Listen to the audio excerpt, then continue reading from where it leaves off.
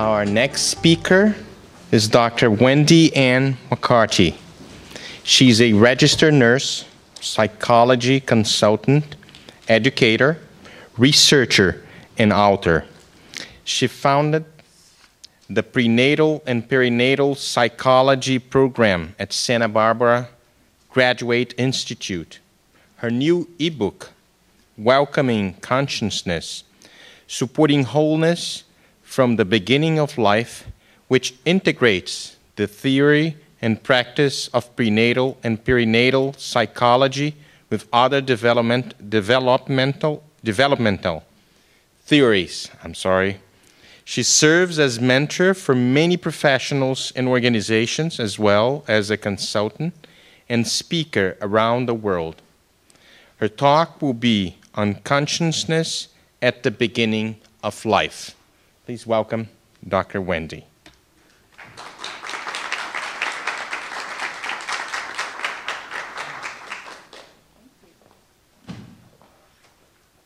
Hi, everybody. So good to be here. Let me get set up here. Start the timer so I keep myself on time for you all. Hello, is the microphone on? Microphone is on. Can you hear me all right if I'm back here? All right. Well, Sonia called me or emailed me and invited me.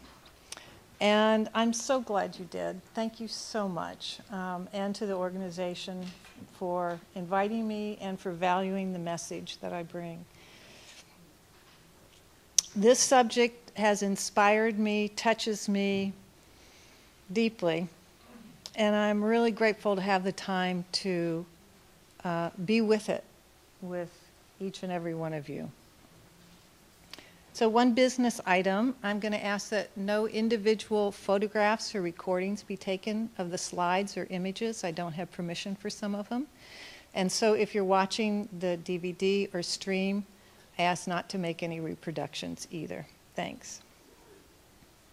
So I feel this talk is a celebration of who we are, who babies are and who we now have the opportunity to become as we recognize, acknowledge, and nurture baby's greater multidimensional whole self.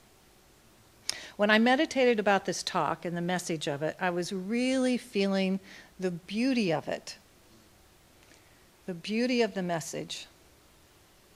I had drank the Kool Aid, and I was feeling the resonance of it. And the words of this subtitle came to me Aligning our multidimensional wholeness and awakening our human experience and healing within its embrace.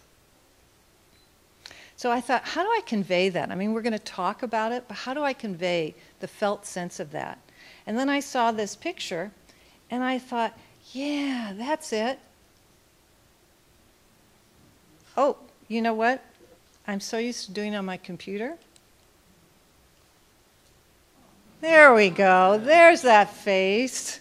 That face, yeah, aligning our multidimensional wholeness and awakening our human experience and healing within its embrace. Yeah. So, in the last five minutes of our time today, I have a very special, separate little sideshow, um, slideshow to the song Happy that's very popular uh, that has many images of babies and families in it. And I can't wait to show it to you. I was so tickled making it. It just lifts us into the resonance I'm talking about. So we have lot to look forward to, many of you guys, at the end.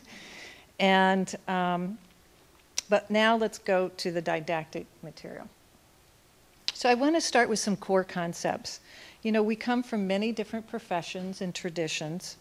And yet there's some unifying principles that are universal to guide us. And I have to keep remembering to use this one. Whenever we're talking about healing, well being, human potential, we're always talking about the fundamentals of moving towards greater wholeness, coherence, and right relationship. I'm a board certified holistic nurse, and I like the descriptions of these concepts in our uh, nursing, holistic nursing, a handbook for practice. Wholeness is about the relationship of the parts of a system to one another and to the larger systems of which they are a part. Increasing wholeness of a system is about establishing a pattern of right relationship among its elements that is more and more coherent. A synergistic whole is created that is more than the sum of the parts, and that synergistic whole organizes the parts. Well, in the new paradigm, the universe is seen as one interconnected whole, so how do we increase wholeness if we're already one whole? And I really like this quote. When physicist David Bohm was asked, How does anything become more whole if everything is already a part of the indivisible wholeness of the implicate order of the universe? He responded with one word coherence. Increasing the wholeness of a system is about establishing a pattern of relationships among its elements that are more and more coherent. Healing, a process of being and becoming whole, an emerging pattern of relationships among elements, of the whole person that leads to greater integrity, connection, and cohesion of the whole system. This pattern of relationship can be called right relationship. Thus, healing is the emergence of right relationship at or between and among any and all of the levels of human experience. And it's a process rather than a state. Okay, so when we support these, we're supporting wholeness, coherence, and right relationship. But then the question comes up when we're talking about self as a human being what whole self are we talking about? Babies, what whole self are we talking about? Our notions about wholeness and who we are are held within our worldviews, our paradigms, our core beliefs, and these shape our fundamental principles and goals that guide our education, training, work, and family life, as we've been talking about this morning. Our notions about babies are undergoing a fundamental evolution and change. At the core nature of what we consider a baby's whole self at the beginning of life to be. And this evolution of thought has repercussions over our entire lifespan for health and healing and wholeness. So, in this talk, I'm going to take you on the journey of evolution through my eyes and my experience. I'm going to briefly orient you to the field of prenatal and perinatal psychology and what we've been learning from babies. There's so much to share, rich amount of uh, findings and experiences, etc. I've selected a few highlights from theory, core principles, and a few clinical stories to bring these concepts alive. So I hope this talk can be a touch point for this new landscape of early development.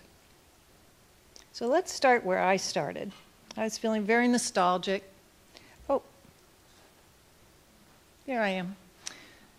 1973. I can't believe it's 40 years ago. I graduated with a BA in nursing at the University of Kentucky. Those are my parents. Hi, on the other side, but here today. Hello. My mom's just like, she's very happy. um, as she would say, I'm so proud of you, honey. um, so I started out as an obstetrical nurse at the University of Kentucky. I got a master's degree in family studies and infant development. I loved all the theories of development, the research on babies. I just soaked it up, and I did my transition to parenthood as my thesis topic. So I realized I really wanted to work um, more at a psychological level with families. So what did I do? I went on and got my PhD in counseling psych at the University of Southern California and did my dissertation on transition to parenthood.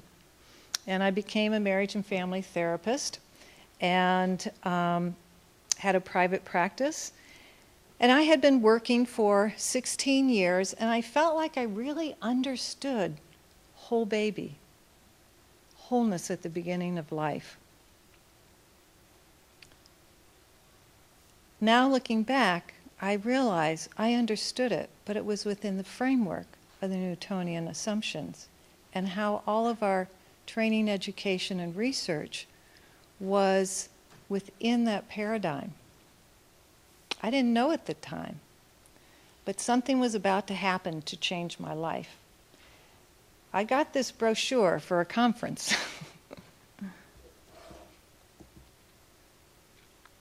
the power of prenatal and perinatal experience, maximizing human potential throughout life. It looks innocent, doesn't it? looks inviting, looks innocent. Well, I thought, wow, I wonder what that means. Now, you can't really see it from back there, but this was the actual brochure. And some of the presentations were the truth about newborns, discovering their capabilities, birth trauma and its significance to psychotherapy, cellular consciousness, the mind body network, pre and perinatal patterns in adults, and birth oriented psychotherapy with infants. And I went, wait a minute, I've been in psychology and I've been in birth. What would psychotherapy with an infant even look like? I was really intrigued and a little disoriented, and I decided to go. And there I learned uh, some of the, and I'm going to just go through a few of the little core things from, from prenatal and perinatal psychology as I started to get oriented with it.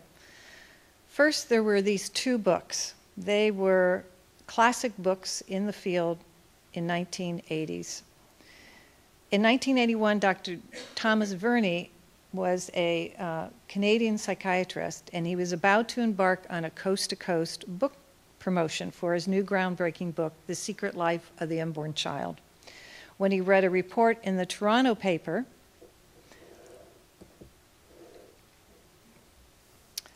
about a psychologist in San Diego, California, Dr.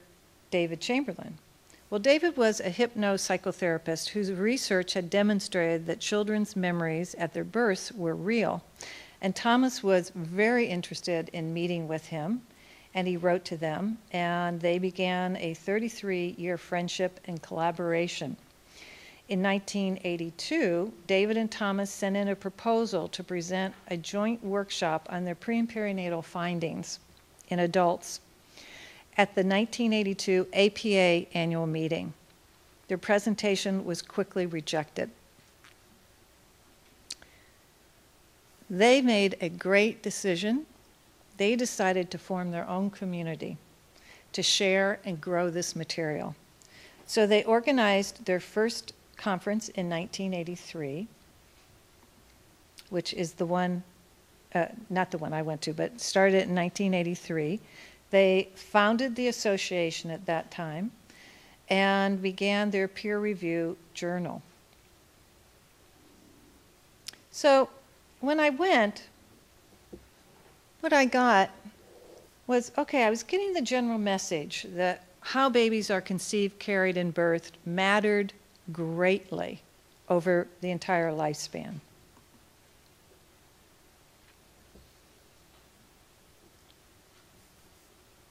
And that babies are conscious, aware, learning, and communicating meaningfully at the beginning of life you know, that sounded really inspiring, but I really didn't have any idea what they were meaning because it just didn't fit my Newtonian model whatsoever.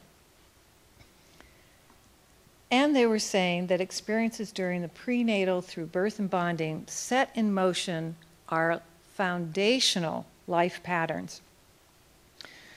That it set in motion core beliefs, subconscious programming, autonomic function, and that these are seen in every aspect of our being. You pick one. How we deal with change, our self image, how we come in and out of relationship, uh, our ability to pace time and move through time and space, our states of consciousness, every part of our being, they were saying we are seeing the beginning of these core foundational life patterns beginning prenatal and at birth. And they were reporting that unfortunately, most of our findings found cascading life diminishing effects of our modern era misunderstanding of who babies are and their capacities, missed opportunities of greater connection and relationship with them, and how many, unfortunately, of our medical and professional care practices leave babies with trauma, unmet needs, and life diminishing imprints. This was very disturbing. I really didn't understand it at the time, but I was one of those practitioners. And I thought, what are we doing that's, that, that's leaving babies with this? And I wanted to find out more. But what I really got was so unique.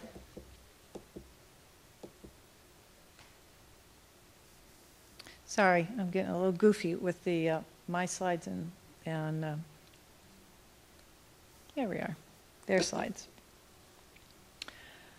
Um, they were talking about babies so differently, and I was a little disoriented with that. And what I really started soaking in was their perspective was from the baby's perspective, baby's experience. The field had grown out of therapists in training wanting to share more and explore what they were finding with their clients and families. In their search for the origin of current issues, therapists often were unexpectedly, back then, taken back to a traumatic or diff- difficult experience in the womb during birth or as a newborn. And the field really grew with pre and perinatal oriented therapeutic clinical work with adults, children, and babies. And treatment of how to treat current issues with connecting what happened back then and working with it to what was happening now to resolve both. Well, the person that I, my life changed in that, this one talk um, is Dr. William Emerson's. He was the psychotherapy with infants.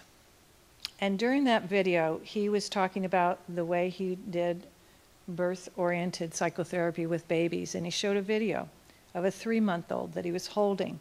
And he was having an intimate dialogue. I wish I could tell you the whole thing because it was just so special. But they were talking about now and they were talking about the birth. And the baby had a difficult birth. And he was saying, Yeah, I know. We're talking about when you were born. Yeah, yeah. And a little red blotch came across a somatic memory of a cord around the baby's neck. And he says, Yeah, and that, that place, it was really tight. Yeah, and you didn't have enough air. And the baby reacts. And he says, Yeah, that was a scary place. Oh, I'm so sorry that happened. That was really scary, huh? And the baby looks at him with these eyes of what look like appreciation. Like you get it. Like we feel when someone gets us when we've gone through something so hard. In that moment, and I got goosebumps. 24 years later, I get goosebumps about it. Because in that moment, as I watched, my normal way of perceiving babies were suspended. I found myself sensing the meaningfulness of the baby's verbal and nonverbal communication as meaningful and a dialogue with Dr. Emerson. And I experienced uh, the baby's depth of presence that appeared to be that baby's appreciation of being with him in that difficult place and talking to him in this way. And the moment changed me. And it shattered what I thought whole baby meant. I felt that I had perceived some grander self being expressed by this baby. And my next thing to myself was because I felt very disoriented and shook up by it why had I never seen that before? Why had I never seen that before? In all the years, all my expertise, all my training, all the times with babies, and I saw something different that day. So, William, the second part of his talk, he talked about some follow up. He had pioneered how to do this kind of work with infants. It was new territory. There weren't any studies, there weren't anybody else doing it. it he was the first one. And he really wanted to see, he worked with babies and their parents, what happened. So he started following them up. And um, as they got older, and he saw some of the children, he interviewed the parents, teachers, other people who knew them, and he was just trying to get the themes. You know, what did he learned about this group of human beings as they grew up?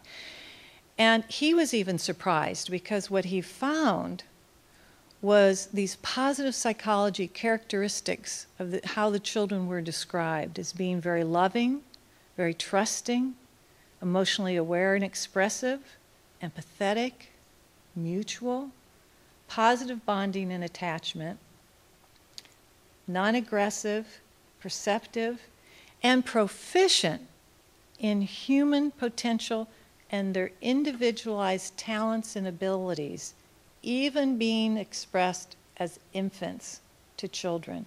They would seek out experiences that were unique, might not even be the interest of their parents, and hold focus and explore in depth. So, I believe when the babies were relating to William and their parents during those sessions, and the parents and William were communicating with that baby, as a whole, conscious, aware, capable being. That it started a process that the parents then took on a whole different way of communicating, holding, being with their babies that led to greater wholeness, coherence, and right relationship within their child growing up. And these positive psychology outcomes were manifested. So I decided, okay, I'm in. I want to learn more about this. I started training, and um, I opened up my psychotherapy practice for the first time with young children, and I named my business Wondrous Beginnings. I was so inspired about this new human potential, about who we can become. And I was also at the same time diving into my own spiritual path and my own spirituality and working between the realms very actively, post death, pre death, in between, um, and was getting more and more comfortable in this greater reality. And um, it was very wondrous to me. So I named my business Wondrous Beginnings. With the children, as I started seeing them, and it was orienting towards what had happened during prenatal and birth period. I videotaped all my sessions for about, well, for years. And for about the first year and a half, I transcribed every session.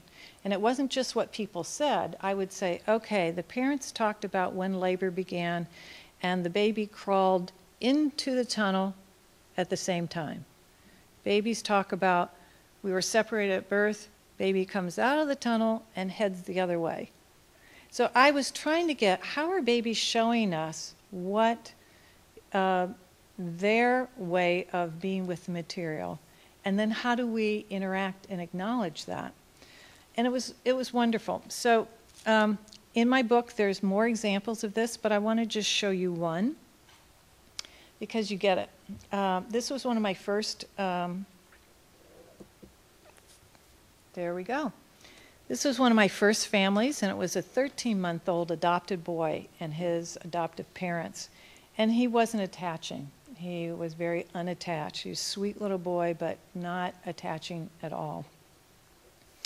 Okay, so they come in my room, and on one wall I have all these symbols and toys anything that could look like a sperm, an egg, uh, conception, being in the womb, coming out of the womb, mommy, baby, hospital scenes, all kinds of things. About 400 symbols over here. And um, the parents walk in, go right over to the couch. He toddles in, so cute, goes right to the symbols, of course. And he goes right over. And he picks this one up and he drops it in another room. 13 month old baby. Okay, so this is one of my first cases, and I'm going, oh my God, I'm supposed to know what this means. I have no idea what this means. is this Marilyn? Is this, no, he wouldn't know who Marilyn is, but we do. But, you know, what is this? Um, and of course, I had no clue whatsoever. So, as we're talking in that first session, I asked the parents, Do you have a scrapbook? They said, Yeah. They had done an open adoption, they took pictures. Had he seen them? No. They said, We're waiting till he's older. He wouldn't understand them now. And I said, Well, would you mind? I think it could be really helpful to bring them in now and let's look at them together with him. So, two weeks later, they brought it in. And I opened a page. You'll see this person is, their head's not there for confidentiality. And there's a picture in the book.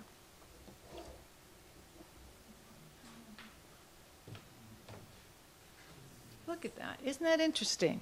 That was Marilyn, and then she's in the book. Who do you think that might be?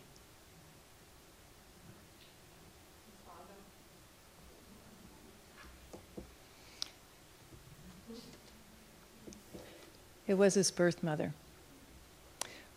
This is an example, I've seen this thousands of times. This is an example of how specific memory is. This was his mother, the last day he saw her, the last thing she had on, when she kissed him goodbye, got on the plane, signed the papers, and he was two weeks old. And that's his memory of that.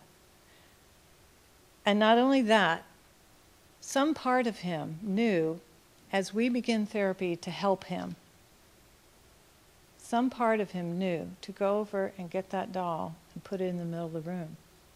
Was it just that he's attracted to that unfinished story, needed help? I don't know. But it rippled through me because it, I was starting to collect my own direct experience with children that Dr. William Emerson and others had talked about. And this is, again, how specific memory is. Those two dolls were next to each other. He didn't pick the yellow one, he picked the black one. Over and over again, I've been awed by the integrity of babies and children who tell their stories. I've had Little kids tell stories, very complex scenarios that last over days of what happened. And I'm thinking of one, and it was when he was five months in utero. So I'm going to skip ahead. Um, in 1993, Ray Castellino and I founded BEBA, and it was a nonprofit clinic where we wanted to study and provide this type of pre and perinatal birth oriented therapy for babies, um, newborn on up, with families. And we wanted to train professionals in the specialty. It was an amazing time, and we discovered a lot. And one of the things that we were discovering that just I was absolutely uh, intrigued by is how we were learning more and more and more how babies are showing us their very established core beliefs from the very beginning of life. We just hadn't recognized it. Um, I wrote a paper on it uh, in my book that's out here, uh, Welcoming Consciousness. It's as that journal article that has four clinical vignettes from this from the clinic are in it um, that that talk about the power of belief, what babies are teaching us. I'm going to skip ahead.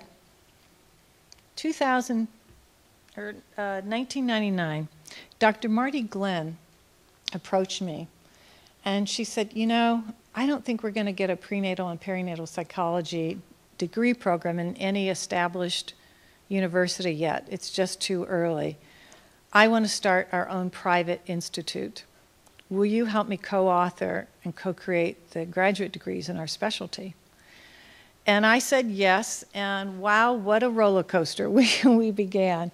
Uh, within a year, we had opened with six degree programs, masters and PhDs in prenatal and perinatal psychology, and we also had somatic psychology. Well, it, um, it was a very challenging time for me coming up with the curriculum. Here we were trying to teach professionals who were going to be out in the field. And um, although I had had a lot of training and expertise in infant development within a Newtonian model, when I started working within a pre and perinatal, let's say, model, I had to consciously keep letting that go because those beliefs just kept bleeding into my missing things with kids. The more and more I, my repertoire grew to what it can include, I realized how those things were not helpful, many of them. Well, when we were doing our degree programs, I had to come back out and interface what's in mainstream about early development and what we are finding in early development. And it's as if we were talking about different, different people. Because still,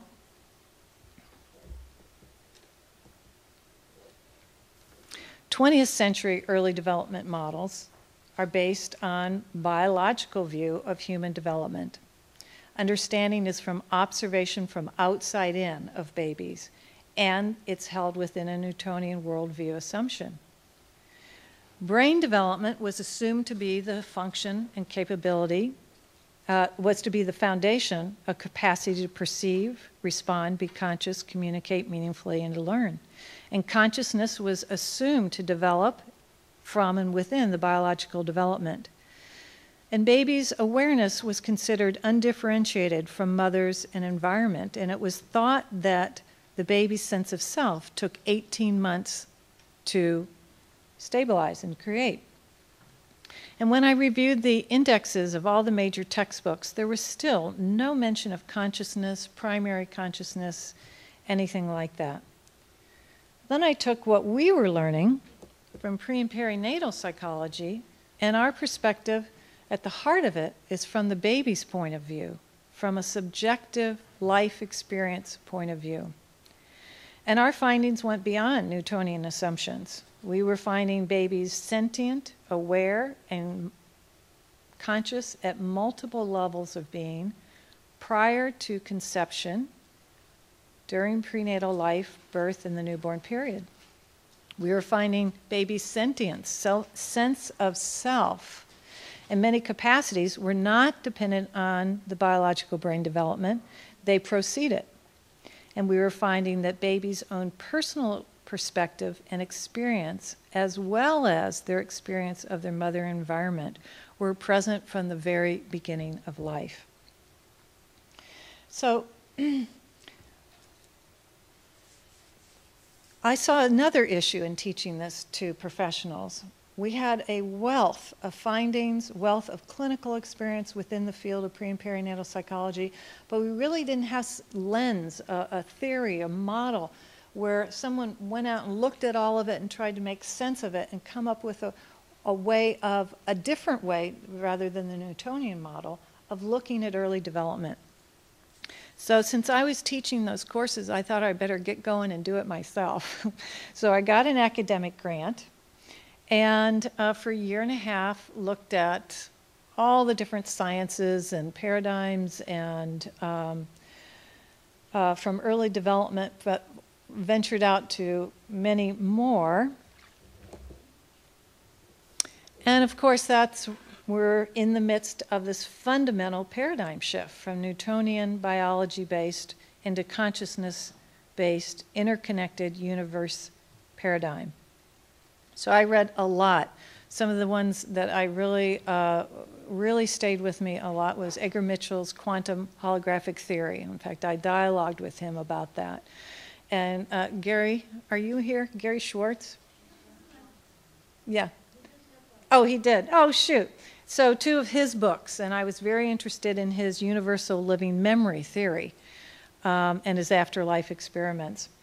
And, you know, I'm talking to the choir here, but just to say, it was a relief to see that there was more science and more support. There was a basket that could hold our pre and perinatal findings now because theory and practice and healing and these we're expanding to these multidimensional I'm so sorry, get out of sync here. Understandings that took the nature of reality, human nature, communication, health, and healing, now beyond physical, emotional, mental, including energetic and non local. I love this quote. Consciousness shifts our healing efforts and results from a change that expands the scope of what is possible to a change that actually transforms the entire landscape. And that's so true for early development. When we bring in consciousness and what we know about babies' consciousness, the whole landscape of early development transforms.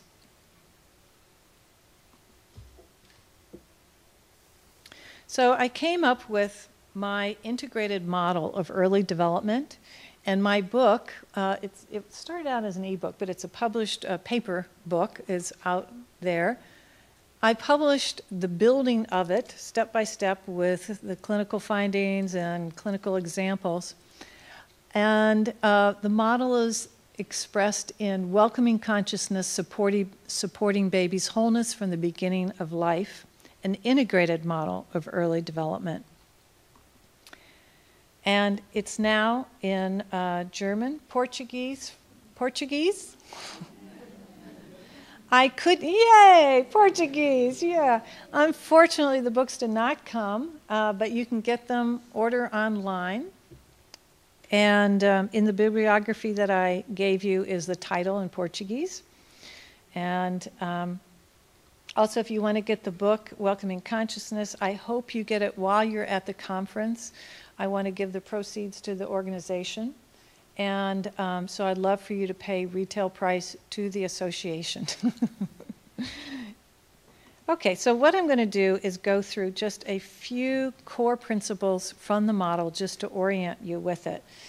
Um, it's wonderful to have lots of examples to, to explain what they mean, but those are in the book.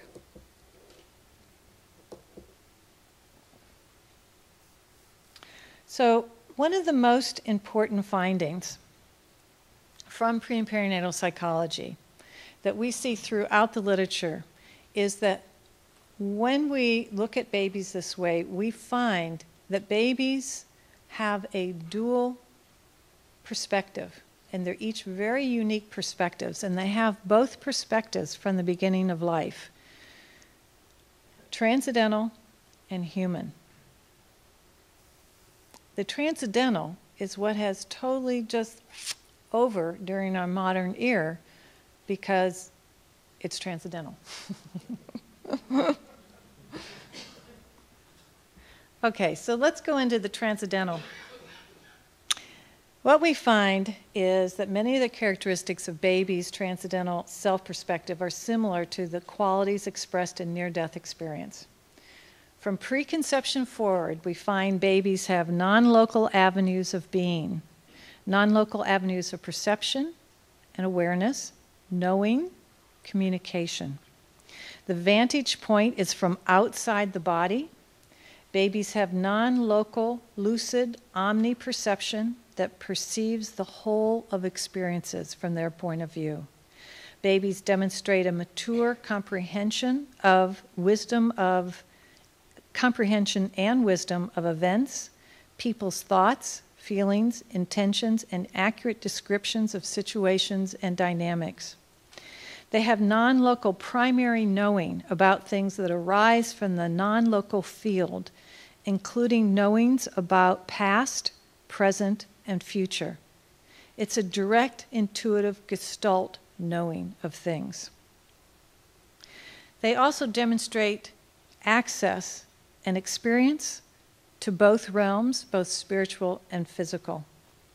And with conception, the transcendental self perspective views the baby's body as this lovely house, this lovely vehicle that they'll inhabit for their life that they're embarking on. From this perspective, they have an I am presence. I am. I am. Timeless, continuous. Human. From pre and perinatal standpoint, the human perspective, in contrast, is from within the body. Awareness, ways of knowing and communicating are biologically based within the context of the physical plane of reality, within time space of location, and the domain of human emotions and mental fields of experience. The baby's human awareness, communication, and knowing are through a symphony of energetic, biochemical, cellular, somatic experiences, all embedded in the human emotional and mental layers of experience. These perceptions and capabilities do grow with a growing baby's body and brain. At the core, the baby's biologically based experiences are relational with its environment. The developing human self is intricately related and, yes, in part, merged with their mother's experience, the health of a womb, and their physical and emotional journey together at birth. But babies also demonstrate their own unique experience and responses. The developing human is instinctive, sensitive, responsive, adaptive, emotional, and intentional. And lastly, the baby's human self has an innate intelligence of right relationship. What holds coherence, harmony, and goodness, and what doesn't? And the baby responds and adapts, choosing protection, growth, or protection points of view, beliefs, or uh, growth. So, although I've talked about these perspectives very briefly, uh, separately, the beauty in our fur- further, excuse me, fuller understanding of babies and their pre and perinatal experience is held in what I believe to be the inseparable relationship between their transcendental perspective and the human perspective in a synergistic relational whole of self that is both non local and local. Holographic principles suggest that our three dimensional reality is a product of the interaction of non local and local experience. Both perspectives are necessary to create our reality. The dynamic interaction of the two perspectives create a synergistic whole that's more than the sum of the parts. That whole created by those two perspectives is actually more than the sum of the parts, and that greater synergistic whole functions to organize the parts. That's what's so. The greater synergistic whole between these two parts functions to organize the parts. That's how I see our transcendental and human perspectives functioning. That synergistic whole I call the integrated self. And uh, when I'm talking about it academically, I describe the integrative self as a holonomic holographic, self organizing, dynamic self system, otherwise known as your baby. this ever evolving relationship is an intricate and intimate dance, with each perspective informing and changing the experience of the other. So let's return to our fundamentals. Greater healing, well being, and human potential lies in creating and sustaining greater coherence and right relationship alignment to increase greater wholeness in our being. I've come to believe that our greater human potential lies in our ability to align our human self experience with our primary non local transcendental consciousness to create the most coherent and clear channel. I'm talking to the tribe here. so, what's their message? What do they want us to get? What do they want us to hear? And it's, you know, at the, at the core, it's very simple. I am a person. I know I am. I know I am. And I can relate meaningfully. And I know you are you. And this is prior to conception forward.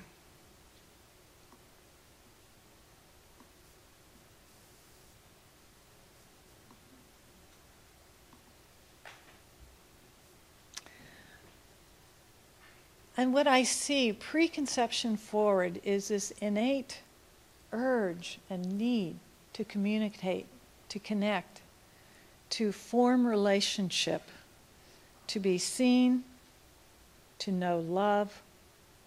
So I hear from them communicate, consider me, connect. I'm here. So I could spend a lot of time. We could spend, you know, I've been, our field has been studying for decades what makes up this baby's multidimensional world. I mean, it's a whole new world that hasn't isn't out in mainstream. And we could I'd love us to just sit around the campfire, as they say, for days.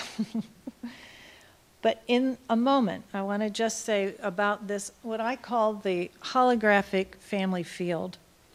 There's all kinds of fields and different specialties, cranial sacral versus, you know, different uh, spiritual traditions. We talk about different fields of energy. Well, I, I put it together because whether we're intervening at a physical level, a mental, um, uh, emotional, a spiritual level, I believe we're holographic beings. So I believe that we are changing the whole hologram wherever we are making a change.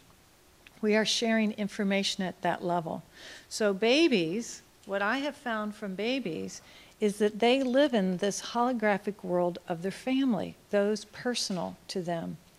So, in my practice over the years, and from what babies and children have shown us, we see that babies are exquisitely sensitive and responsible to these relational holographic fields of information from the very beginning of life.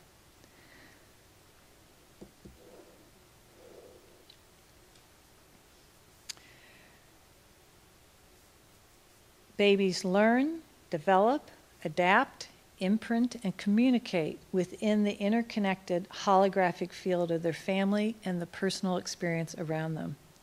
And this family field of information sharing goes way beyond what we thought they were capable of within our Newtonian because it uh, viewpoint because it's physical, it's emotional, mental, energetic, non-local, it's sophisticated, it's when you think of near death and that type of awareness, that's what we see coming in with babies. So, babies are immersed in this, and this field contains ancestral, past, current, future, especially what's unresolved, uh, unfinished, or early trauma is stored in that. And babies are immersed in this complex field of information, and they build their core being in relationship to this world. And think of this they have an innate intelligence that says of right relationship. Think of how many things we hold at a conscious level and hold in conflict at a subconscious level. Babies are getting all of that. That's what we see. And that's what they're learning how to be a human being. That's what they're imprinting to become the human being they are. We have generational messages, our messages from our past. I've seen little toddlers play out sophisticated things that happened 20 years ago in their parents' life that the parents have never talked about. They're, and it's like this one child was doing it, walking around, playing this out for three weeks, just stuck on it. We had no idea what they were showing us. We just kept trying to listen, and the mom said, I don't know. And finally, the mom said, You know, I don't think this has anything to do with it, but it just came to mind. It was something that had happened 20 years ago. And as soon as she brought it up, the baby went over to the basket, first time in three weeks, picked up a different toy, which was about where she was going with the story. And the story moved. So somehow that baby was like, huh. Walking around for three weeks. What do I do with this? What do I do with this? And when we talked about it and explained, and we could kind of see the meaningfulness of why it was coming up now, the baby was like, oh, okay. Never brought it up again. That baby was under a year's, year old. So, this is a wonderful way of looking at it, and I've written some more about it. So, if you're interested for the thirsty learner, there's more out there. So, I'm about to switch here into a story, one family story that I picked out to tell you. And this is a principle that I find with thousands of people that I've worked with and other people in our field find healing with compassionate truth. I believe when we reach an authentic truth, oh.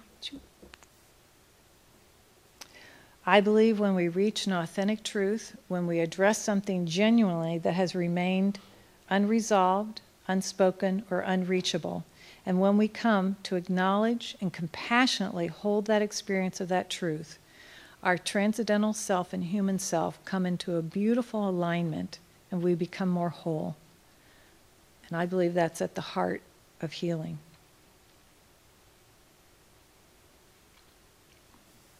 Some part of us remembers. okay, so this is a family story.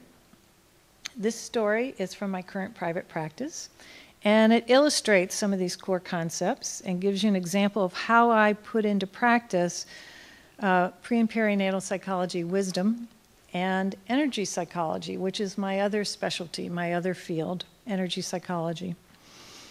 Um, I work with families now by phone. I work very differently than I did in the past with uh, that type of on the floor play therapy and sessions. So I work with families by phone and Skype, and I use energy psychology with families. I wanted healing techniques that were simple and safe and effective in shifting patterns that parents could use at home. And one of the ones that I use is EFT tapping. How many people know EFT tapping? Quite a few, yeah. Okay, so I use my version of EFT tapping and some other modalities. I use them in the session and I teach parents then how to use them with their kids and it becomes a way of life. So, mothers are often the parent who contacts me for help with something that's going on, usually with their baby now or their child now. And I start by taking a very in depth pre and perinatal history, their pre and perinatal experience, and the parent's pre and perinatal experience, all the way up to current behavior. So, I'm always looking at current behavior, what happened then, and just holding them and seeing if there's any relationship. So, just a couple words about EFT, emotional freedom technique, for those of you who aren't familiar with it. It's a way of you're tapping on certain meridian points while you're focusing on whatever it is that's the problem. Could be a trauma, a stress, a large emotional reaction, all kinds of different things. And you're tapping. And one other specific thing, as you bring it to mind, you're focusing on it, you make a statement. So even though I have this, even though I'm really stressed right now, I love and accept myself. Even though I didn't do a very good job at that other thing I was just working on, I forgive myself. It's always you're putting whatever is going on, the honest truth of it, and something really positive. And I see this as bringing our human and transcendental self together the human constriction and the expanded love, joy, forgiveness, acceptance from our transcendental self. That's how I interpret this.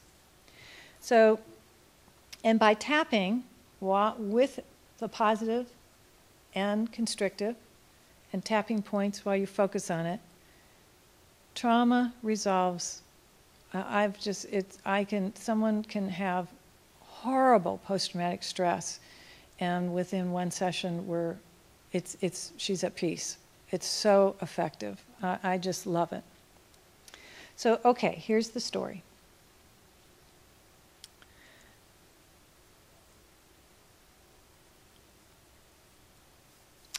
about ian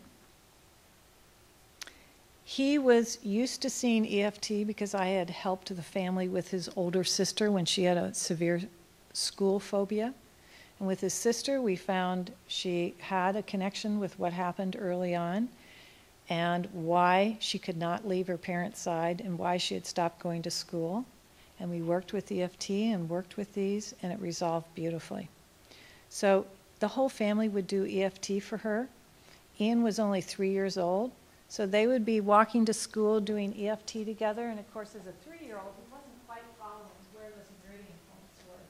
But he had already, by the time I worked with him at four years old already knew that EFT helped with hard feelings and you felt better afterwards. so the mother asked me, Can we focus on Ian? He, he really has a long standing challenge I'd love your help with. He's a very loving, caring, sensitive boy, but when he goes into a social setting and starts coming into relationship with other people, other kids, like at soccer, he seems to lose conscious awareness. He gets this fight, this life death comp- competitiveness, especially with his sister, and he doesn't really get where his body is in space. It's like he's thrashing all around, and the kids around him get hurt. And he's desperate to be chosen to be in the middle of the things, and he's just devastated when things don't work out with other children. He's just devastated. And he feels like everything's fallen apart, it'll never be put back together, and it has a great deal of intensity. She said because the other kids get hurt around him, they sometimes don't like to play with him. So they would avoid him, and it would perpetuate his fear. He wouldn't get chosen, and he'd be des- devastated. And his parents had worked with him with his behavior, trying to get him to be more aware, conscious of his actions, but nothing was working. So the mother said most social situations for years had been white knuckling it for her, of trying to watch and manage, make sure he, he the other kids didn't get hurt, and uh, try and manage the situation. Okay, so where do we start? Well, first, I said to the mom, How about if we do EFT for your charged reactions about it all? Even though I have this dread it's going to happen again. Even though I just, oh, there he goes again feeling. I love and accept myself, and I love and accept him. So we started with hers because that changed the holographic field he was in, if hers were less. Then I suggested taking the focus off the specific problematic behavior and talk more to him, focus more on what he was feeling, his emotions, thoughts, somatic sensations, and to be empathetic with him about it. Our goal was to have slow things down, get more awareness of what the feelings and thoughts were that were coming up, and to empathize with discovering more of what came out. I took uh, extensive pre and perinatal history and I saw some possibilities of what was in his early history and his current behavior, so mom and I talked about that. And I suggested that she ask him if he remembers when he first came in her tummy. I suggested try not to lead him, just see where he goes with it. So the mom asked him, Do you remember when you first came in my tummy? He said, Yeah, it was really easy to connect with you. I could see your heart right away. But then I felt lonely. Sissy, Sissy was having all that milky, milky, milky, and she was kicking all night long, and I couldn't sleep. And somebody was with me. But then I turned away, and when I turned back, they were gone, and I was so lonely.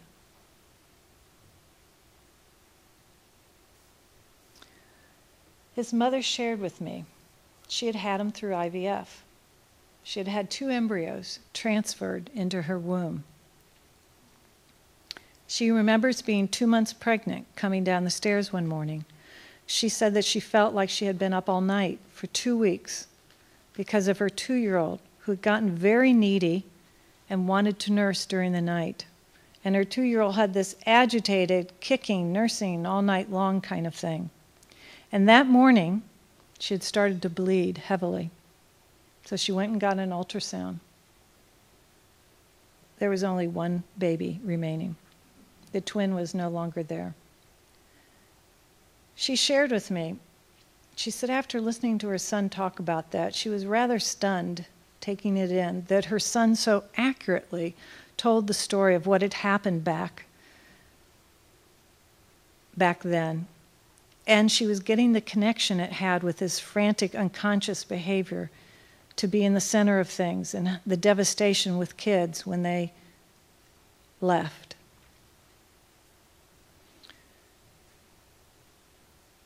Her son's description, so notice her son's description of what he first experienced in mommy's tummy was through both the inside and outside vantage points.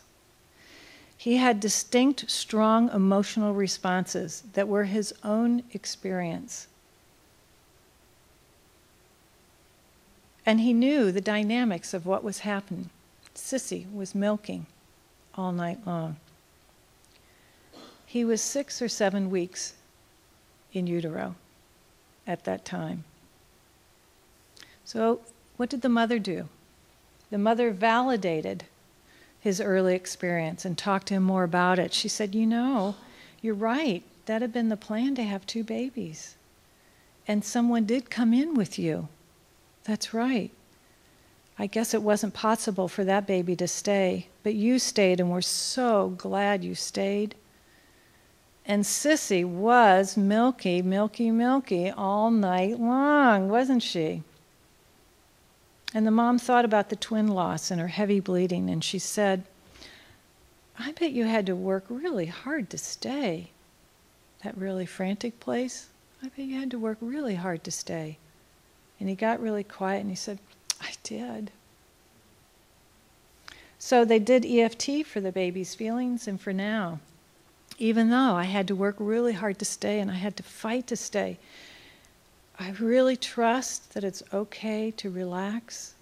It's safe now to relax. His mom guided him, and they did it together. Even though it was really close and I had to really fight to stay, it's safe now to just relax. I made it. So when his behavior came up in the outer world, because this took a little bit of time in different situations uh, working with it, his parents would say, Oh, you know, I think that's that frantic place. How about if we do some EFT for it? And if they couldn't do it then, they'd do it later at night. And they focused on what he was feeling in that moment rather than trying to control his behavior. I interviewed the mom when I was uh, putting this um, uh, story together because I wanted to make sure I got it accurate. And um, some of how she put things was very moving to me. And so these are her words. At one point, during that really intensive period when we were working with him on this, after he had remembered Sissy's Milky all night long, and you spoke again, and you and I spoke again, you said, Well, see if it comes up again, and if it feels appropriate, talk about the loss of the twin. And she says, Well, and she was thinking, okay, he's four. I wonder what appropriate means. she said, well, let's just see.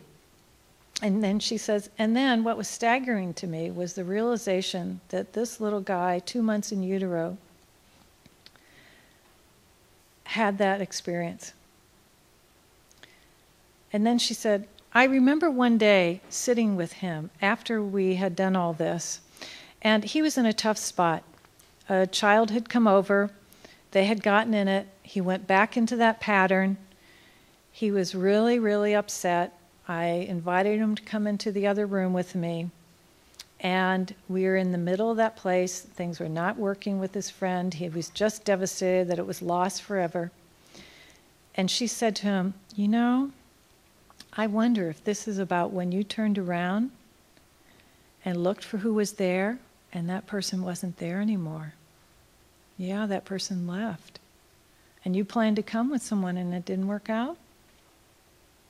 And she said, I remember he just started sobbing, just absolute sobbing, saying, I know what happened, but was it my fault?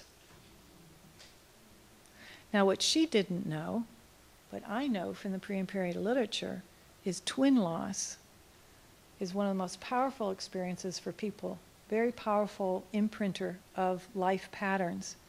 And what do we hear adults say that are working on that material? And what do we hear that older children say? One of the biggest patterns that can come up with twin loss is a sense of, it was my fault. And so they can carry that through their life of, it's my fault, not really knowing what that means. But if something goes bad, it's my fault and it's my fault forever because it's permanent. So here he is as a four year old saying that spontaneously to his mother in this very deep emotional place. But wasn't my fault? That's the question, he was like saying. And she said, she said, uh, for me, she said, this was huge. Number one, it's huge that he didn't just stare at me wondering what I was talking about. Rather, every aspect of his four year old self resonated with that knowing that it was truth, that it was his truth, that it was his understanding, that he had done something wrong. And that pattern has been there every time that he would screw up with a friend. It was his fault. He was going to lose them forever. She said, So while we were in that very emotional place together, both crying, we just did a very simple EFT. How does that make you feel? Sad. How big? Big. So, and the mom would say it. So even though the plans were to come with someone and it didn't work out, it really makes me feel sad. I deeply love and accept myself, and I'm a really good boy. And he'd say, and I'm a really good boy. and my mom and dad really love me, and my mom and dad really love me. And it wasn't your fault. And it wasn't my fault. And she said after that, the whole pattern started dissipating. She said, I know sitting there with him that what trumped even that loss that he was feeling at two months in utero, it was, it was his fault, that belief. I thought his feelings had been about grief and loss, and looking at the heart of it, it was my fault. She says, Oh my gosh, I got it. So this really worked beautifully.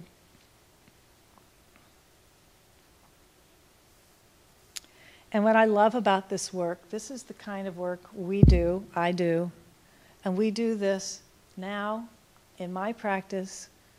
I do this with babies in utero, and I actually do it with babies preconception. That the parents and I talk with that entity, that child, that consciousness, and we do family healing work, including them. So, four year olds pretty old to be doing this kind of work. okay. So, I'm going to start in uh, with uh, more some conclusion, concluding comments. And if we have time at the end, I might tell another story. I just don't want to run over.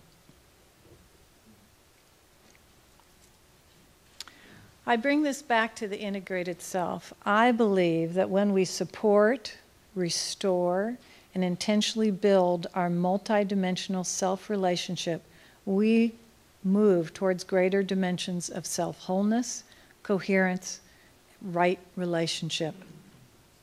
We evolve.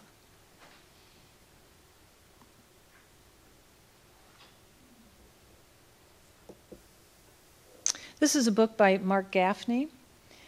Um, integrated uh, integral psychology, Ken Wilber. He's taken Ken's work and gone a whole nother level with it. And in his book, The Unique Self, he has this quote Evolution is the creative impulse inherent in the cosmos to unfold towards even higher levels of complexity, consciousness, and goodness. The unique self is the enlightened realization that you are both absolutely one with the whole and absolutely unique. I am, and I am one with all. Two books published recently from the death and dying community literature Dying to Be Me by Anita Moorjani and Proof of Heaven by Dr. Eben Alexander. They both beautifully portray the author's powerful um, transcendental experiences in the non local spiritual realms during each of their near death experiences and their realizations of themselves being absolutely one with the whole and absolutely unique. They both describe coming back radically transformed by their experiences and remained more connected to those transcendental higher octaves of awareness, knowing, and being. They experience profound healing with the direct experience of knowing that they are unconditionally loved by all that is. They are love and experience those higher octaves of oneness, joy, harmony, goodness, truth, beauty, and well being. They returned more aligned with their transcendental self and source, seeing themselves in the world through a multidimensional lens. In Proof of Heaven, Dr. Alexander describes his transformation as a metamorphosis from caterpillar to butterfly. His direct transcendental experience changed the very nature of his being, as well as his core perspective of himself and the world. Both of them received their gifts of transformation and metamorphosis through their near death encounters by experiencing the more real spiritual realm through their eyes of their transcendental self and returning to their embodied human self with that perspective more fully integrated into their human experience. I believe that pre and perinatal psychology, and not just pre and perinatal psychology, all of those who, many spiritual traditions um, who have talked about consciousness coming in from the, you know, from non physical into physical, all of us that take this consciousness view offer a missing piece about who we are at the beginning of life, our innate, multidimensional nature. You know, so much of what we strive for over our lifetime, you know, think of all the meditative practices, all the spiritual practices, all the healing that work that we do, all the what we're trying to get more of those transcendental capacities within ourselves integrated, our intuitive knowingness, our primary knowing, for instance, those capacities that many of us strive to get, what we're finding in pre and perinatal psychology, are, are with us as we come into human life. They are part of our innate core nature of being. And they are just waiting to be discovered and waiting to be awakened and met.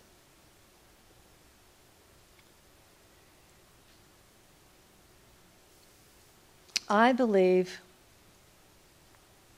the PPN findings show us that all these things are at the beginning of life, already there.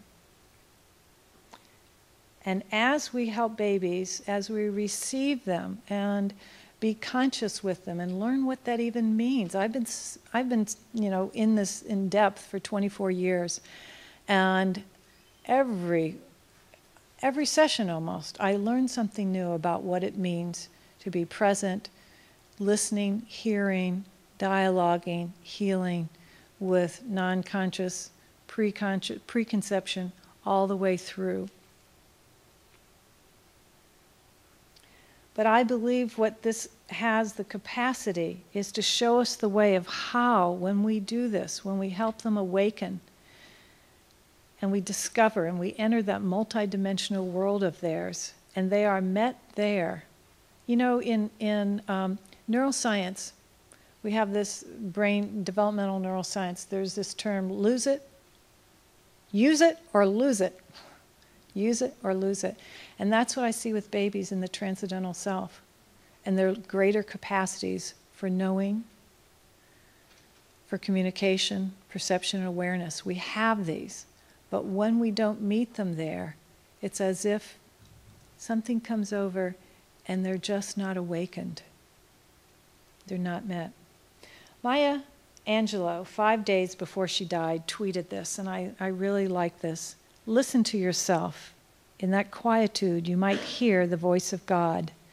Our transcendental self knows this. It's our innate birthright to know this. But it isn't enough to know it, it's living your life in this.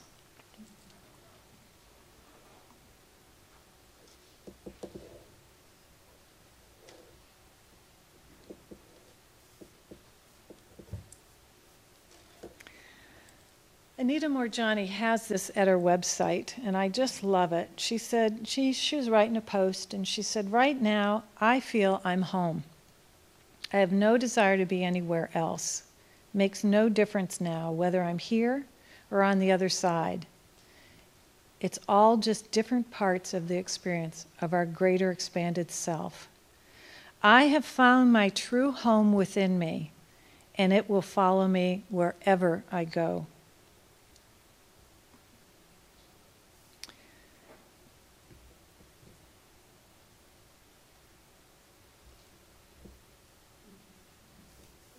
Whoops. That's the punchline, not yet. I believe that we are in the midst of a grand evolution, a paradigm shift of the evolution of human consciousness. And I've gotten to experience my own evolution in my being, my consciousness, and in my work with babies, children, and families that I've had the privilege of working with.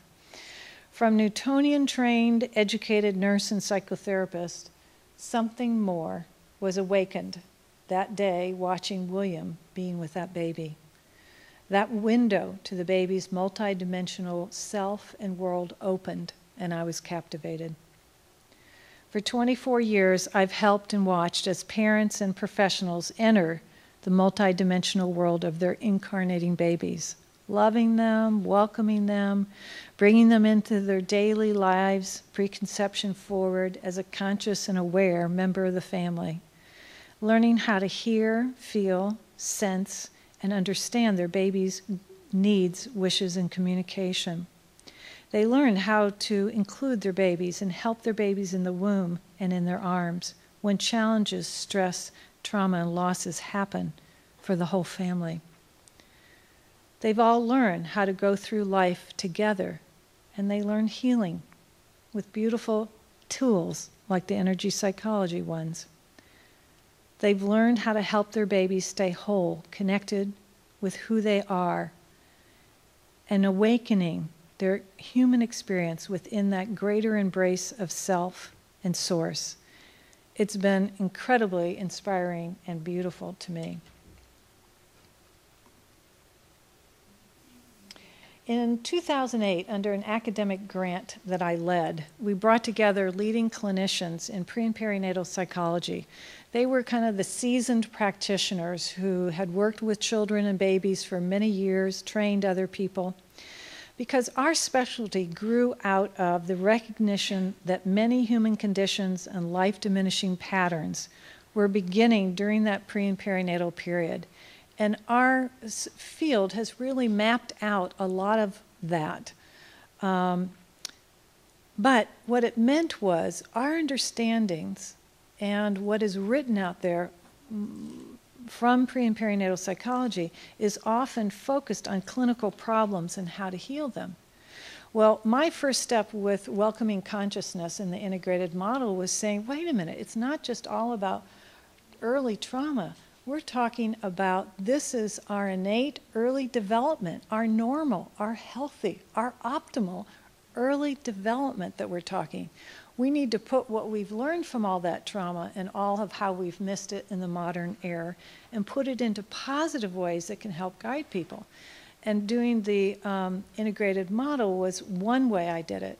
In this way, we collaborated, came together, and we said, like the attachment community, they have core principles that they hold as guiding uh, principles that orient professionals and parents to optimal care and attachment. We came up with 12 guiding principles uh, how to optimize human potential and relationships from the beginning of life from what we had learned with babies from a multidimensional lens. I don't have time to share those. Um, they are an appendix in my book. Um, but I'd like to share our concluding uh, kind of inspirational paragraph that we have in our brochure for the 12 principles. Imagine a world. Imagine a world where every baby is welcomed, loved, nurtured, and seen for the amazing, conscious, and aware being they are from the beginning of life. As these babies grow, so does their capacity to love, to empathize with others, to be in relationship, to live in joy. And as our first generation matures, we'll see rippling effects grow to encompass greater learning capacity, emotional intelligence, and creativity, and the emergence of new leaders, healthier families, and communities. Our potential is unlimited. I come back to Anita Moorjani's statement I have found my true home within me, and it will follow me wherever I go. My vision, my wish for babies coming in, is that all babies feel I'm here embodied. I'm here, and here is really good. So that concludes my main talk. And for those that are live in the studio, we're going to have our very special baby slideshow. For those that have been um, uh, listening, streaming live, or the recording, this unfortunately, because of copyright, can't be shared at that level. But we get it today, and I'm so tickled to now move into the fun part